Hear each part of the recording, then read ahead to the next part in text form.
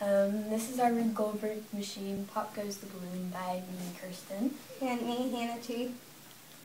So, Um, it begins with the um, race car. car.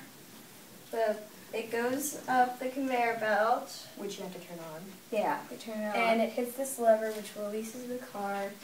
And it hits this pivot, which knocks down dominoes. And the car continues to go on and hits a switch that turns on the uh, race. the marble Yeah. track elevator. Mm-hmm. So um, the dominoes hit the train. The train goes down and hits the dominoes. And the dominoes hit the marble, which, then Which- goes up the elevator. which is electronic with magnets. And then it goes through here and collects several more balls.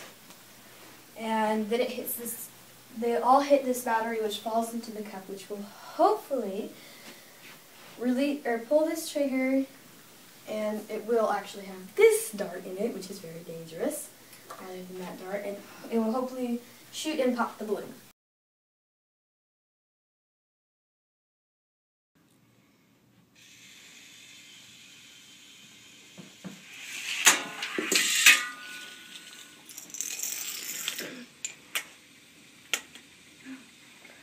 It's gonna work. It's gonna work. It's gonna work. Shh.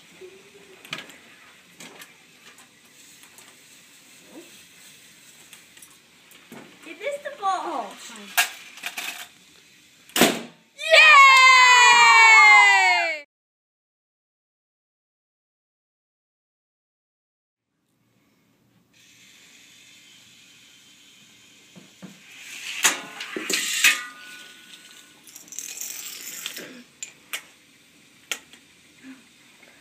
gonna work. It's gonna work. It's gonna work.